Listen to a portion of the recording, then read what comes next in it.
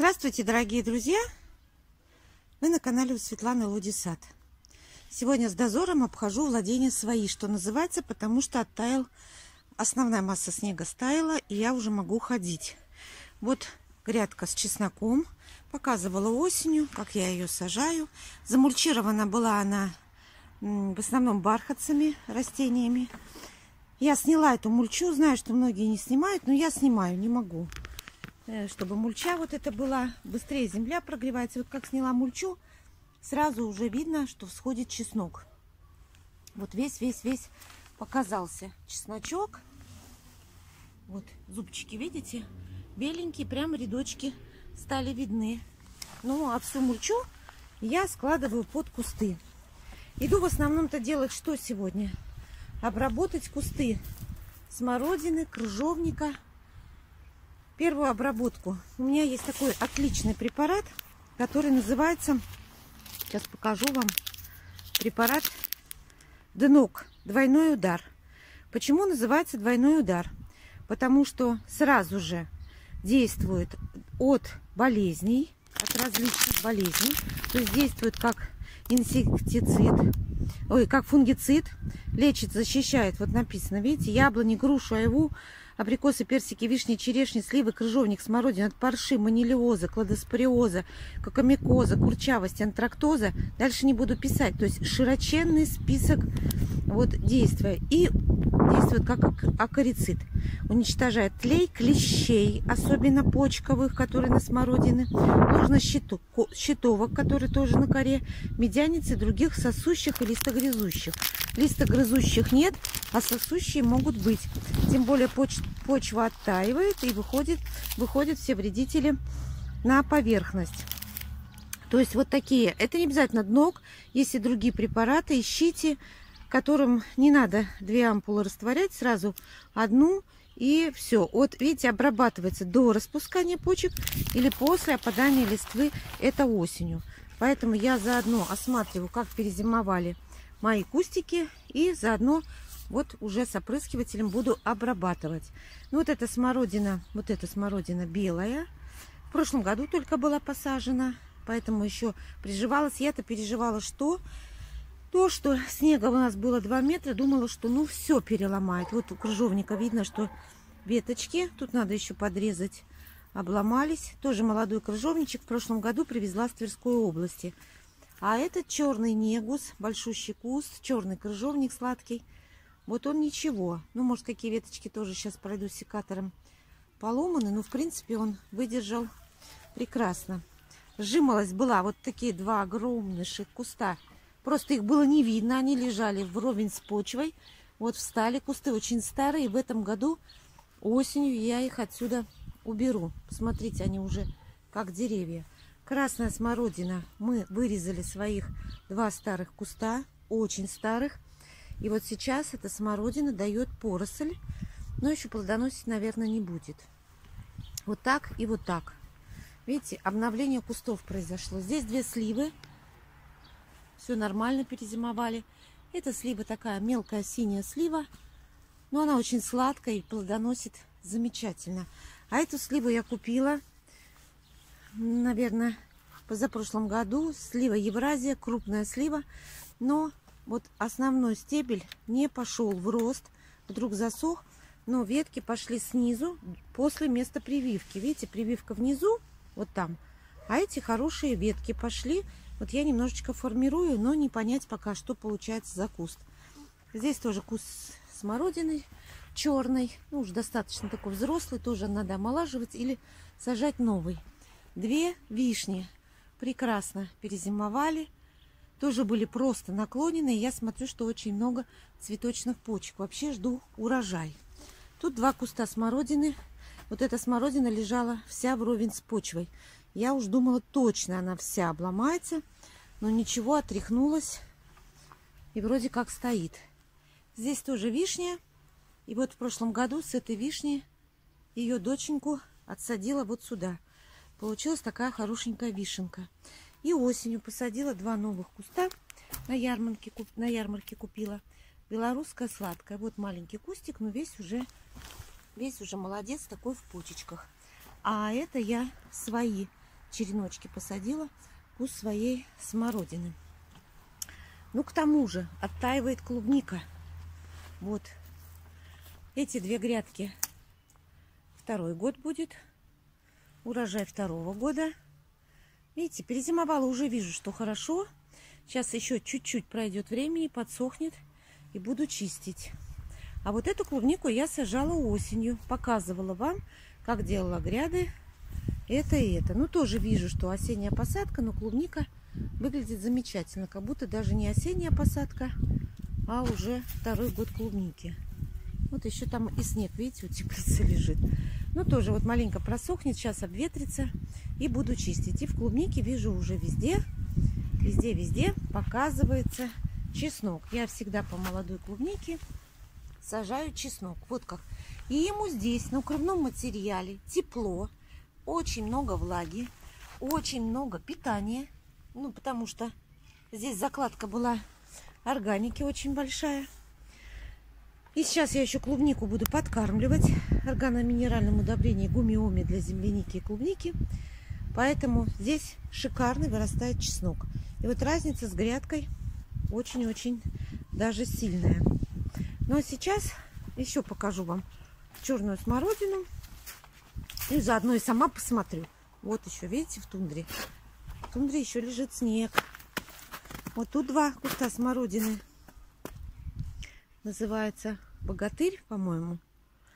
Вот, ничего, перезимовали. И вот эти вот круги, которые покупал в магазине Светофор, в принципе, недорого стоят, пустодержатели мы удивляемся с мужем, что они выдержали весь этот снег. Ну вот уже на почках, поэтому обработку надо надо делать. И красная смородина куст. Ну вот так, вроде все, вроде все хорошо. Никто не умер, что называется. Все хорошо. И самое это главное, я сюда пробралась, чтобы посмотреть на молодую яблоню в прошлом году, посаженную весной. Самые вкусные яблоки в мире, как я говорю. Дай бог, вот так кажется. Дай бог, чтобы была именно эта яблоня. Эта яблоня называется Пеппин шафранный. Вкуснее яблок я не ела никогда. В моем родительском доме эти яблоки занимали самое первое место. Единственное, что редко встретишь этот старинный сорт. Пеппин шафранный. Яблоки зернистые такие, плотные, винного вкуса, кисло-сладкие. Ну, я уже сажаю четвертую яблоню с этим названием, но вырастают пока непонятно какие пепины. Ну и так сейчас начинаю обработку своих кустов. И вы не забывайте, пожалуйста, яблони, вишни, сливы. Но яблони, вишни и сливы я буду обрабатывать немножко другим препаратом, который называется строби. Все-таки он мне больше всех нравится. Яблони спасает от парши на 100%, убедилась на себе. И вишни и сливы спасает от маниального ожога, инфекционного заболевания, от которого у людей вообще полностью пропадают эти плодовые деревья. Нюра вот там балуется, бегает уже по грядкам. Скоро я ее так просто гулять отпускать не буду. Потому что вот она, видите, что делает. Нюра! А, Нюра, нельзя там ходить! Вот так. Сейчас пройдет своими лапами, что-нибудь еще покопает.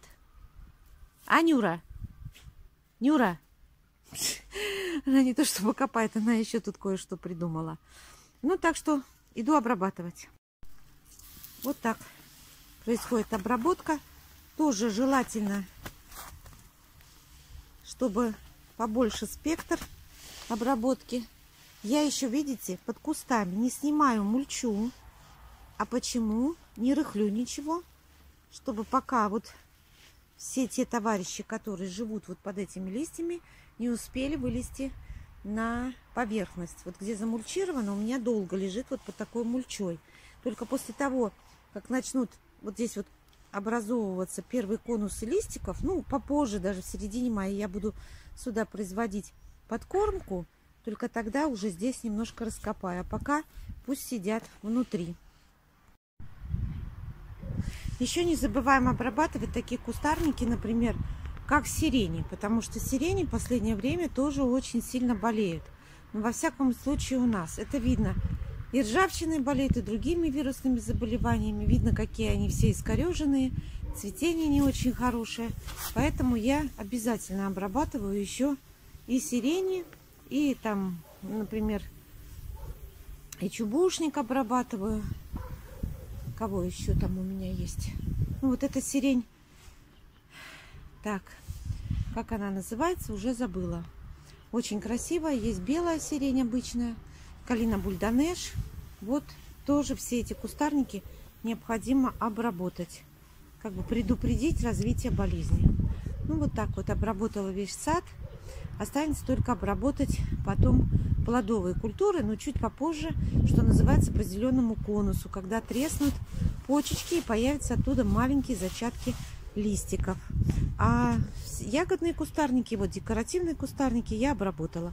Теперь еще обработаю хвойные, но уж показывать не буду. Хвойные тоже обязательно нужно, потому что в шестнадцатом году у нас страшно сильно болели хвойные. Вот, шиите и другими болезнями. Поэтому я с тех пор обрабатываю хвойные обязательно, чтобы они все-таки выглядели более здоровыми. Ну и еще погодка шепчет. У нас более-менее тепло.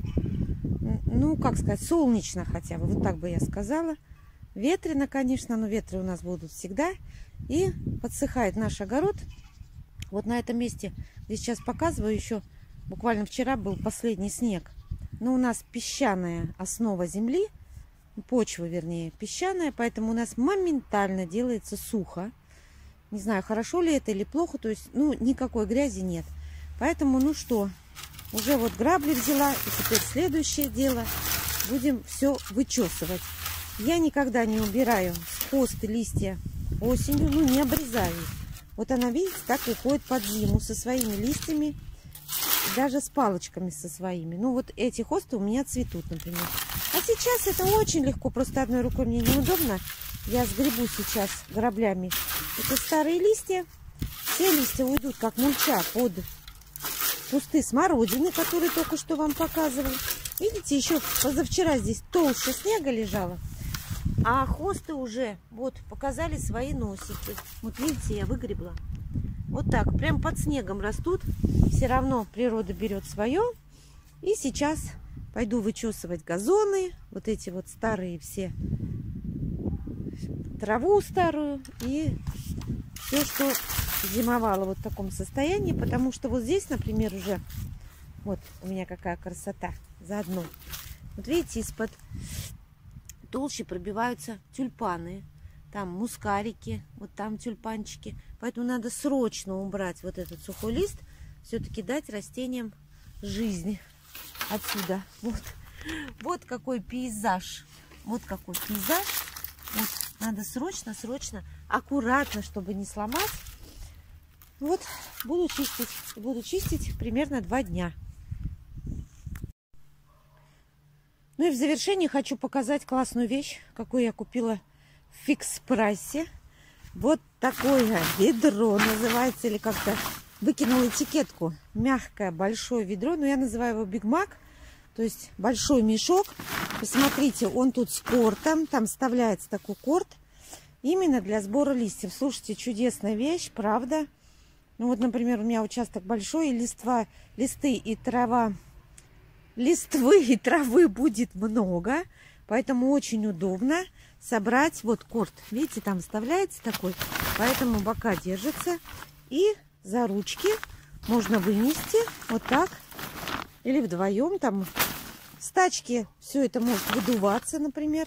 А в этом мешке очень удобно. Слушайте, классная вещь. Вот не помню, сколько стоит. То ли 90, то ли 50 рублей. Посмотрела в магазине, понравилось. И думаю, что мне теперь послужит. Так что обратите внимание, в фикс-прайсе, если нужно садоводам такой большой, такая большая сумка, ведро, мешок. В общем, как-то так. Спасибо всем за внимание. Вы были на канале у Светланы Лудисад. Всего всем доброго.